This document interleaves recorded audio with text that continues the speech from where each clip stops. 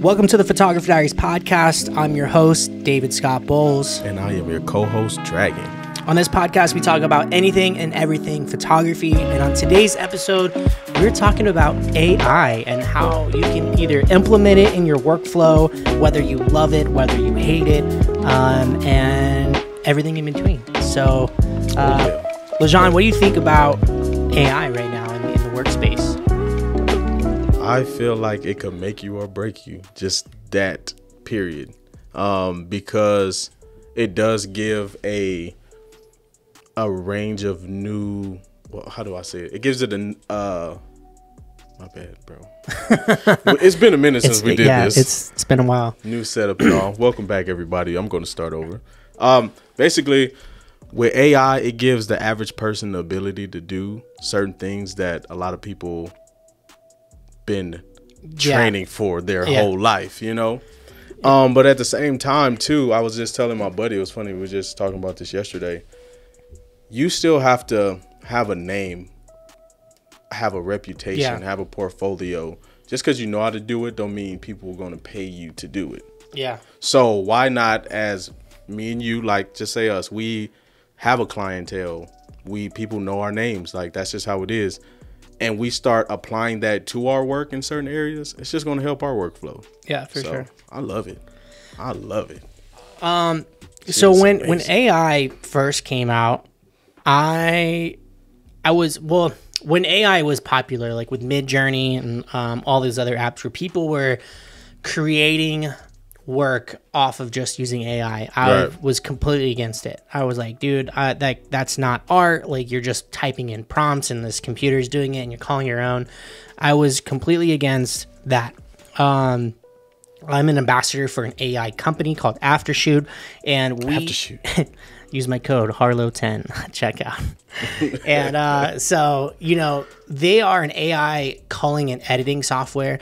So you could basically it, what it does is basically learns your edits. You can create a profile, and it will continue to learn how you do things. Um, it Oh, also that that shit you was doing? You had to upload like five. yeah, yeah. photos? So, and then it- it also has like culling, which is basically selecting your images um, on the back end of photography. And so it was kind of like, I kind of felt weird to be like, oh, I'm using AI, but I hate AI. But then I had to really sit back and think. And it's like, you know what? If you, I mean, it's just like anything else that's new in the world that comes out. I mean, I'm sure people were against cell phones at one point, right? right. So I think if you use it as a tool, whether in, instead of using it to replace something or cr- use it to create or anything like that, and you use it as a tool to make the job that you're doing already either easier, faster, or better, mm-hmm. I feel like that is the right way to use AI. Oh, for sure, So for sure. Because at the at the end of the day, too, it lacks emotion. yeah, yeah, I and mean, you could tell like that's i was just listening to you saying that it chooses your photos Yeah. after what if you like that one that has something that's blurry in there you know like oh it Exactly. just hits right you know so it's it's never gonna fully be able to be us Yeah. replace us Nope. people can say that all they want but yeah, it can't honestly you probably could find something where it chops up a video for you but it cannot put that emotion like what you wanted to create when you were shooting it. Because i shoot to edit. Yeah, so it's like oh i'm gonna do this.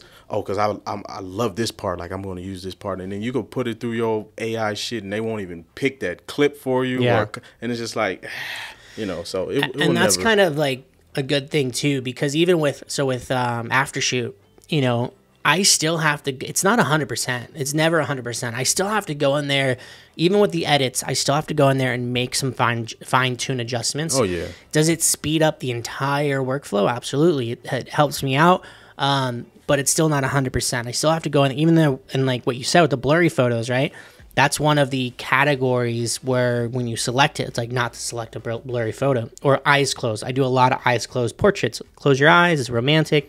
you don't uh, photoshop eyes open anymore So, you know, you know they have that I know they do. And that, that's gonna crazy. That's gonna be the the we could still cuss the laws haven't changed right No, I, I don't think so. All right, so I'm just. oh my fucking god! This is uh an 18 and over podcast. No, just drove Uh, by high school today. It might be 14 and older.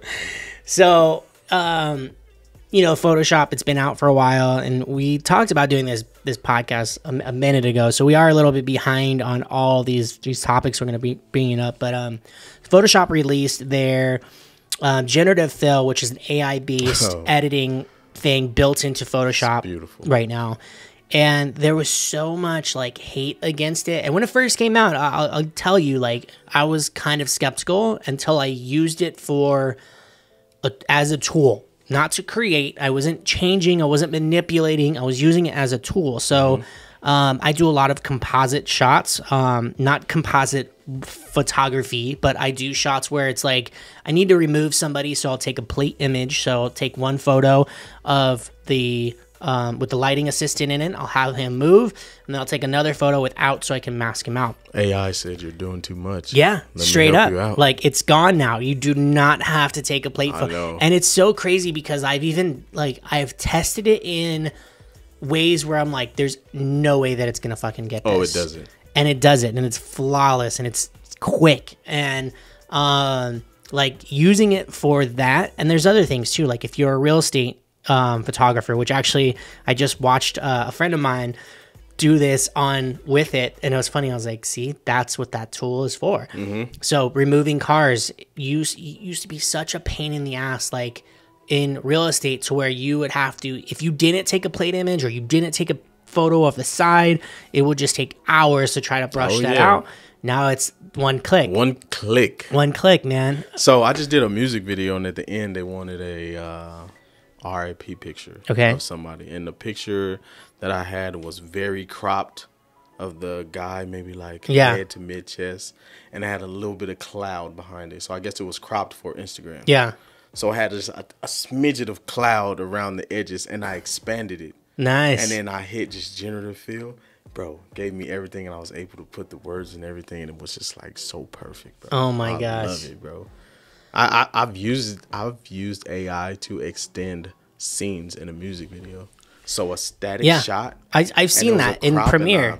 They, oh. they have that in Premiere now where you can actually send the shot, like you could send the screenshot of um, your video clip into Final Cut directly, or Mm-hmm. not Final Cut, into uh, Premiere directly. Sorry, I'm a Final Cut user.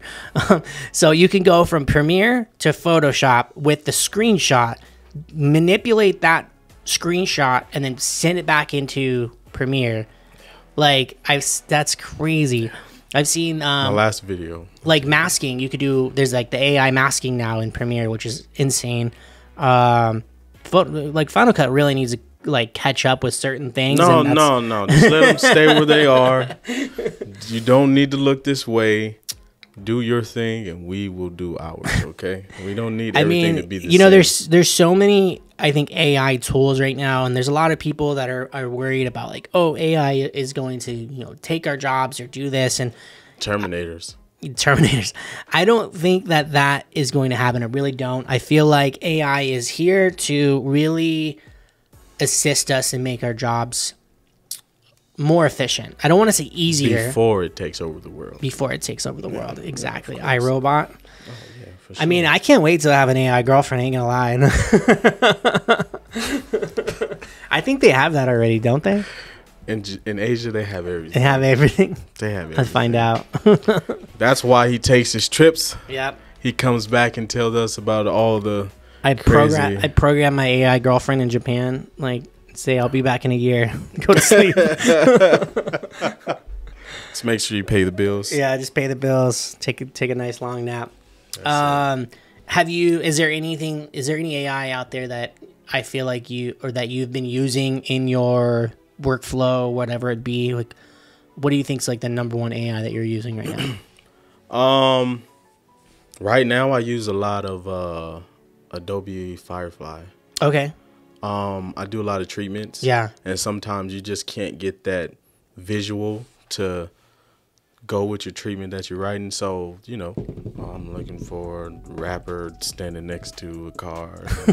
you know, I mean, you can find that all day. That's not what I type, but um, it's usually more creative. But it gives me just a amazing visual representation of what I'm looking for. So when I send these treatments off, they have a better idea of just Usually, I feel like if you send somebody a treatment and you use a lot of stuff from other people's music video, it kind of give a feel. Of, oh, I don't want my video to look like their video. Yeah. you know, that's how it happens sometimes, Okay. not all the time. But when you give them something fresh, like those new eyes, like oh, I've never seen nothing like that before. You know they have, but you know it's just like they never seen it in that way. Yeah. and you put your own little twist on it. So that's pretty much what I've used mostly is Adobe Firefly. Um, or Midjourney, but it's been Adobe Firefly mainly. I haven't figured out Midjourney yet. I don't. I don't know how to use Discord. So Tell me about it. I've d- d- these technologies. I'm talking to you out there. These technologies have been making me feel kind of aged.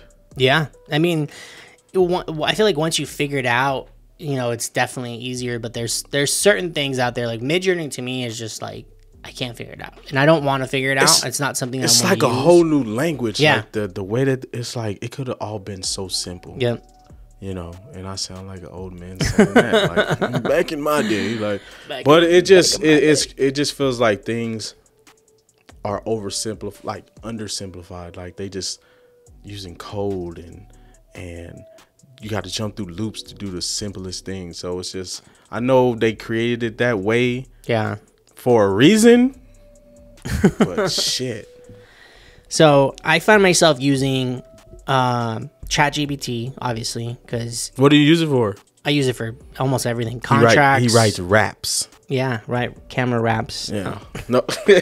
Um, I've used it for contracts. I've used it for proposal emails. Mm-hmm. Um, clients that like are tough clients that you don't know how to respond to. I have a very hard time with empathy, so I don't know how to like. Cause you're an asshole. Yeah, I don't know how to like say things nice. So Oh, I know. I will just I'll use ChatGPT sometimes, and sometimes like That's a the little. funniest shit that I've heard in my entire life. Right. Wait a minute. I bro. use an AI to. I don't have know how to talk to people.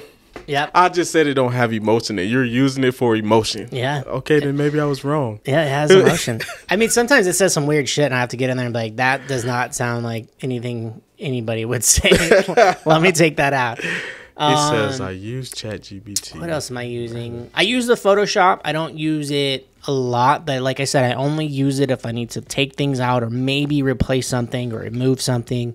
Um, I've used it three times. I've definitely used it more. I've used it three times, but I've played with it numerous Oh, yeah. times. dude it's so fun to like to actually just sit on there and like play with it like i've actually i was um making this photographer that i follow like like it changed his like hair and his outfit and like all this shit and i kept making making him like make it look like he was ripped like i kept putting like bodybuilder and i was like make him make him be a bodybuilder and it kept making him hold a baby and I was like, Oh "What is gosh. it doing?" And the baby looked all deformed and like weird, and like it, it was so funny too because you know how how it gives you like the three um versions. Yeah. it was like a white baby, an Asian baby. I was like, "What is this thing doing?" I have a I have a buddy who's been taking old pictures of mine. I don't know which program he uses, Yeah. but he was like, "Bro, can I just use some of your celebrity photos?" And he'll take them and he'll create something. Like he made NLE Choppa look like Goku, bro. Just like this ripped. Oh, I think I know what you're talking about. I've been seeing people do things like that, and like, um, there's a video AI. I, I haven't really used AI in video as much, Mm-hmm. um, but I've seen a video AI where people do that. They plug in the scene and it like will render it to like look like a crazy comic, but it looks good. Oh, you mean like where each frame it like changes? Uh. Yeah, Oh, yeah, that shit's I- crazy. I've seen people do that in mu- a lot of music videos. Um, kind of over. yeah, it's crazy. At right now? Where we at, Dave? Fifteen minutes, not Oh, bad. we're doing pretty good. Doing pretty good. So I would honestly, like I said, I don't don't be scared to use AI um, in your business. Um, it's it's a tool. is there to help you. Um, don't overuse it. I would definitely say that. You, and um, you definitely, I see that out there And a then uh, what else? Um, What do you think the next AI thing is in our field? Or what would you like to see? What I like to see. That's good. Honestly, I think I would love to see like, which they might have, and I just don't know about. But I would love to have like an AI um, social media manager. to where it's not necessarily uh, because they, they have like you know VAs, virtual assistants, and stuff like that. But I would love to have like an AI plugin where I'm like it runs my social media kind of automatically or certain ones. Like That's- I'm that's really bad one. on Facebook, so I'd love to like plug in that and be like, hey, like same thing, like prompt wise, where I'm like, hey, run. Um, run an ad once a month and engage with people and um, just build up that you That'd know like that would be really really cool um, to have so if there's any software developers out there i want 10% I mean, look, apparently this is how the world works. Say that you're going to start a company that makes this and then it's going to no pop up. you know That's how it I, happens. I just saw um, i was watching a video actually yesterday you said that And this guy uses so there, this guy uses ChatGPT to create a company that was going to it was like he wanted to make a million dollars in a week or something like that i don't know if he did it or whatever but like it's he created this company and like chat gpt wrote the entire business plan told him exactly how to do it i'm like oh my god this thing is crazy like um So um, next episode, we're going to ask Chat, ChatGPT to write us an episode, and we're going to see what that sounds like. oh that'd be dope that'd actually be a cool episode Yeah. we'll just read the script the whole time No. that's that's How gonna be funny you. i like that we're gonna do that We're gonna that's do gonna be dope Um, I would like to see that too. That's actually I didn't even think about that shit, but that would be fun. Yeah, just like a virtual assistant AI that does that. So I actually went to a um I went to a AI launch for this company called Aphid and they have something that's kind of similar to that, but it's I don't know. I couldn't figure it out because, like, the, the- honestly, the the app was kind of confusing. But that's kind of where they were going with it, where it was like this app is gonna just basically it's supposed to make you money in your sleep. Is that was where they were trying to like pitch it to, to. Um, but yeah, I think that's AI, bro. I mean, that's all we can talk about for now. Um, oh, I got a new website. You got a new website? Yeah. Yeah, you want you want to pitch it to him? Do you want to hear it? Let's hear it. DragonMediaElite.com. DragonMediaElite.com. Not sponsored, but sponsored. Not sponsored, not sponsored. Guys, it's been I'm a doing minute. this so he has to put it Oh, it's gonna. I'm gonna put it right here, right here, somewhere. like this, like this. something. We'll do one And of if you these. can and use AI to fix it, you know. oh man. There's actually AI. Or there's already AI website builders. Um, the guys over at um, Book Focal created an AI website builder. Um, I haven't checked it out. I don't use their their platforms, but I know about it, so that's kind of cool. I know that's out there. It'd be dope for an AI like uh, effect builder, like for videos. That'd be dope. Oh, like almost like yeah, like I really want this really cool, da, da, da, and then it just like generates it for you. Right, like that'd be dope. That'd be cool. AI effect generator plugin. Who's making that for Me. us? All right, well, uh, you know, you can't give me I don't know what this everything does. the What this first time. Hold on. Oh, Dang, I, I got it first that. time. You know, All right, guys, it has been a while. I know that we took a little hiatus on the uh, podcast, and we're back. This is I don't even know what season this is. I'm gonna have to look it up. Uh, but like welcome. the Xbox, it's the one. Yeah, this is the one. Um, we are back. Thank you so much for watching. Um, I'm David Scott Bowles. You can follow me at David Scott Bowles, and this is my co-host Dragon. You can follow me at the Dragon. You changed it. E E Dragon. Yes. I know. He changed it. I was. I don't like being the same forever. I Yeah. jump around, you know. But everybody knows me as Dragon. That's all I need. just Dragon. Until I get a Instagram, the guy who has at Dragon, he doesn't even do anything with his page. Give me the name, Please. He needs that name. I need it. Um, thank you for watching, and we'll see you in the next one. Peace. Peace.